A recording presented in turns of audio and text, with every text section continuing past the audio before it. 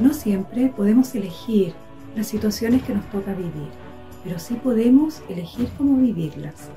Dar la mejor versión de nosotros es posible. Soy Viviana Ociadax y te espero en el próximo Congreso de Libertad Emocional para hablar de autoliderazgo y las claves para desarrollarlo.